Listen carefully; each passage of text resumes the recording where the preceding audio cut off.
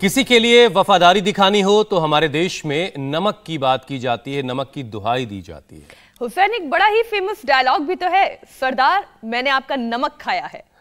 और अब ये बात तो फिल्मी है लेकिन रियल लाइफ में भी सेहत के साथ अगर वफादारी दिखाना चाहते हैं आप क्योंकि बहुत देर होने के बाद ही होश आता है यहाँ भी नमक के इस्तेमाल को जानना बहुत ज़रूरी है क्योंकि ज़्यादा नमक आपको बीमार बना सकता है। हम्म क्योंकि आगे का डायलॉग यही है अब गोली खा। अब तक आपने ये सुना होगा कि ज़्यादा नमक खाने से हाइपरटेंशन की परेशानी बढ़ती है। लेकिन स्टडी अब ये भी कह रही है कि नमक के ज़्यादा इस्तेमाल से शरीर की नसें कमज़ोर होती हैं। गलत खान पान से नसों की बीमारी बहुत तेज़ी से बढ़ती है। दरअसल नसों का काम पूरे शरीर में खून की सप्लाई है और इसके लिए शरीर के अलग अलग अंगों से होकर नसें गुजरती हैं।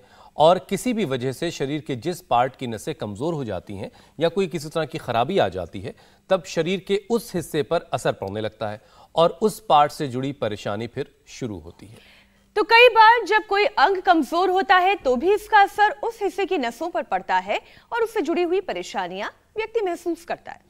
और नसों की ये परेशानी कई बार थोड़े वक्त के लिए होती है तो कई बार ये दिक्कत लंबी खिंच जाती है। वैसे अच्छी बात तो यह है कि छोटे छोटे लक्षणों को समझकर बहुत शुरुआती समय में नसों की कमज़ोरी और उससे हो रही परेशानियों का पता लगाया जा सकता है।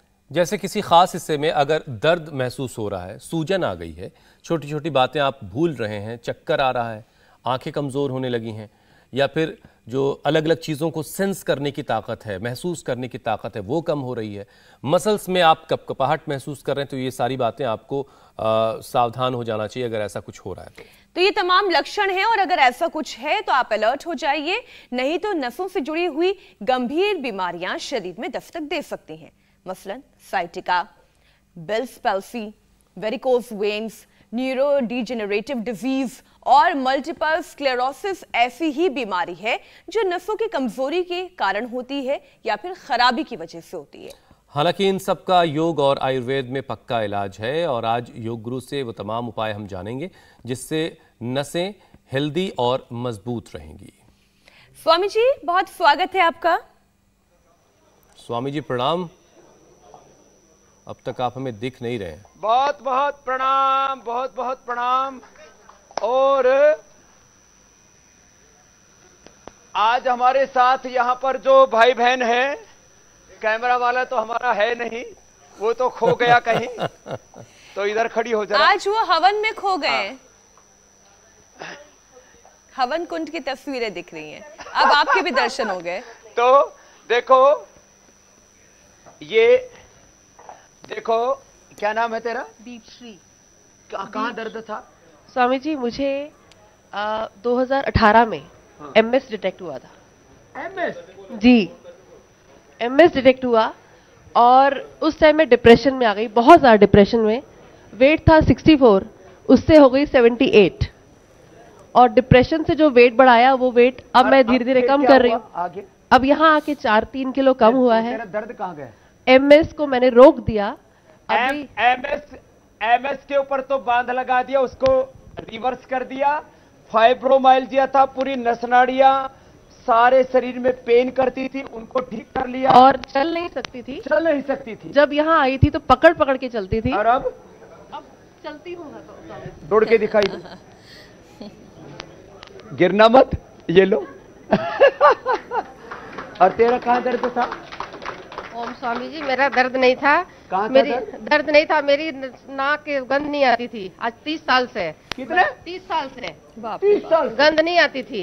वो मैंने मेदांता डॉक्टर सरीन को दिखाया है। उसने बोला कि आप कुछ भी करा लो ऑपरेशन करा लो। मैंने बोला कि डॉक्टर साहब मेरी ऑपरेशन करके गंध ला दो।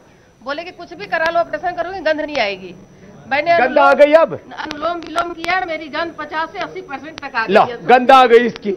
इसकी नाड़ी खुल गई ना यहाँ की नस खुल गई। हाँ? और तेरे कहाँ दर्द था? बाबा जी मेरे ना आठ साल से सर्वाइकल था दोनों कंधों में और बीच में ना कमर के बहुत दर्द था। मैं बैठ भी नहीं पूरा दर्द। अब आठ साल का दर्द गायब? गायब। कहाँ से हो? यमुनानगर हरियाणा से। यमुनानगर से। क्या नाम है? गीता। ये सारे बैठे हैं ना माताएँ। ज़्यादातर दर्द इन्हीं को रहते हैं। सारी की सारी अपने लिए ताली बजा लो। सारी ठीक हो गई। अब हमने ये जो लीज थेरापी, सिंगी थेरापी, सिरोधारा अक्षी तर्पण कर्णपूर्ण, नस्य रक्त मोक्षण ये सारे जो प्रकल्प हैं, चलो अनुलोम विलोम करो। ये सारी प्रक्रियाएँ अंदर के दर्दों को दूर करने का ही एक प्रकल्प है, एक क्रम है। हमारी ऊर्जा बाधित तो होती है, वही पेन हो जाता है। अब इन एलोपैथी वालों को तो कोई समझा नहीं सकता कि ये तो पेन किलर देते हैं स्टीराइड देते हैं, बायोलॉजिकल देते हैं, बहुत खतरनाक है। और हम अनुलोम विलोम कराते हैं। हम सूर्य नमस्कार कराते हैं। आज चारों तरफ़ मेघ है, सुबह से ही बादल गज रहे हैं, बिजली चमक रही है। प्रकृति के अलग अलग रंग रूप दिख रहे यहाँ पर। लंबे लंबे श्वासों के साथ। हम ये सूर्य नमस्कार, कपाल भाती और अनुलोम विलोम। मैं तो कहता हूँ, कोई भी पाँच आसन, पाँच प्राणायाम कर लें, और जिनको नर्व पेन रहता है, वो कम से कम पाँच चीज़ों का जूस पी ले। एलोवेरा गिलोय और पारिजात। निर्गुंडी। मोरिंगा।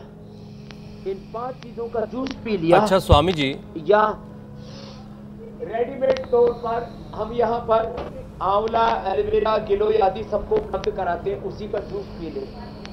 स्वामी जी देखिए हमसे तो कोई लगातार नर्व पेन नहीं रहेगा। और नर्व पेन के लिए एक्ोप्रेशर एक्ोपंचर और अलग अलग चिकित्साएँ भी उसके बारे में थोड़ा बताएँगे कुछ कह रहे थे हुसैन जी जी मैं ये कह रहा था स्वामी जी कि लगातार दर्शक हमसे कह रहे थे कि आप रोज़ाना योगाभ्यास करवा के बॉडी के अलग अलग पार्ट को और अलग अलग ऑर्गन को हेल्दी रखने के उपाय बताते हैं। एक दिन पूरा डेडिकेटेड प्रोग्राम जो है आप नसों पर करिए क्योंकि नसों से जुड़ी बहुत सारी परेशानी लोगों को होती है। और नसें ही हैं जो पूरे बॉडी में ब्लड को सर्कुलेट करती हैं और खून ही हमारे शरीर के अलग अलग पार्ट को हेल्दी रखने का ज़रिया है। तो नसों से जुड़ी हुई हर एक उलझन को आज सुलझाएँ आप। तो सबसे पहले तो यही एक कॉमन सा सवाल कि नसों को मज़बूत अगर रखना है तो उसके लिए योगाभ्यास के साथ साथ और क्या क्या करना है? तो एक तो योगाभ्यास में ना, सबसे सरल उपाय है खड़े होकर के या बैठ कर। खड़े होकर के, अब पार्क में घूमते हैं लोग तब भी कर सकते हैं, ऐसे खड़े होकर के अथवा ऐसे बैठ करके ये कर सकते हैं। सूक्ष्म व्यायाम दस बार से लेकर के सौ सौ बार। और ये मीनाक्षी जी के लिए तो बहुत ही अच्छा है सूक्ष्म व्यायाम। यद्यपि वो त्रिकोणासन, कोणासन, ताड़ासन, सूर्य नमस्कार तक भी कर लेती हैं। और छह महीने तक तो मीनाक्षी जी ने पता नहीं लगने दिया, लेकिन अब सातवें महीने में पता लग रहा है कि सातवें महीने में भी लेकिन प्रेग्नेंट होने के बावजूद भी योग कर सकती हैं। उसका लाइव एग्ज़ाम्पल है मीनाक्षी जी। तो माताएँ बहने, मैंने हर दिन कुछ ना कुछ कहा है। इनफर्टिलिटी के लिए, शिवलिंग की पुत्र जीवक ले लो। महिलाओं को, जिनको गर्भवती महिलाओं को कमज़ोरी है, शतावर का प्रयोग कर लो। और दूध में बादाम, अखरोट, केसर, ठंडे दूध में लेना, गर्म दूध में नहीं। उसका सेवन कर लो। एक एक अभ्यास को 10-10 20-20 बार ऐसे कर लो। हमने रेडीमेड में न्यूट्रीला मातृत्व नहीं तो सिंपल सी है जो ब्राह्मी है शंखपुष्पी है, अश्वगंधा है, शतावर है, इन थोड़े ड्राई फ्रूट्स हैं, अंकुरित हैं शाक सब्ज़ियाँ हैं, फल हैं, इनका सेवन करें। डेली ये सूक्ष्म व्यायाम जिनको दर्दे ज़्यादा है, करो बहनों, सब करो।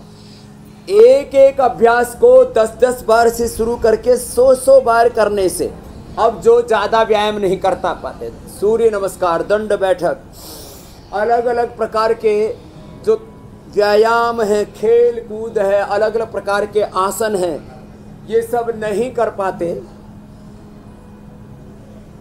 वो मात्र ये सूक्ष्म व्यायाम कर लें। इंडिया टीवी हर वक्त, हर जगह। डाउनलोड करने के लिए सर्च करें India TV news, Google Play Store या एप स्टोर पर।